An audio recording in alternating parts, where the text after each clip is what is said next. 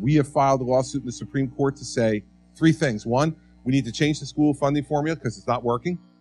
Two, we need to get rid of as unconstitutional, last in, first out uh, termination of teachers. It should be done based on merit. It is unconstitutional, in my view, to do it purely based on seniority. And third, that the Commissioner of Education should have the authority to veto any collective bargaining agreement which has in it things that will diminish a child's ability to get a thorough and efficient system of education. So, you know, if the teachers union is taking a school board for, for a ride, for whatever political reasons are going on in that town, the commissioner of education should be able to come in and say, no, that's going to diminish educational results. We're not going to permit it. That provision is out. Start over. Those are the three things. Finally, someone's suing on your behalf.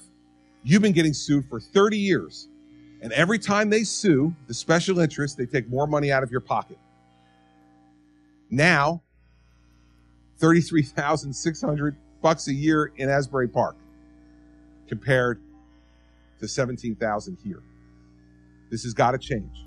And it's got to change not just because we want to make the state more affordable, we want to reduce your property taxes. That's one reason. But the second reason is we can no longer abide this bifurcated system we have of getting these great stories in this morning's paper about the second highest graduation rate in America.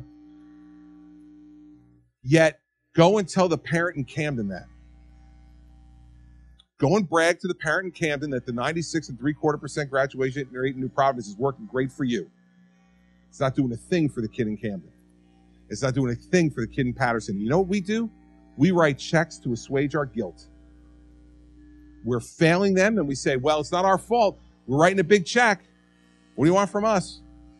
Yet we put handcuffs on educators from getting results by all these rules that are imposed by the union and by members of the legislature and previous governors that make no sense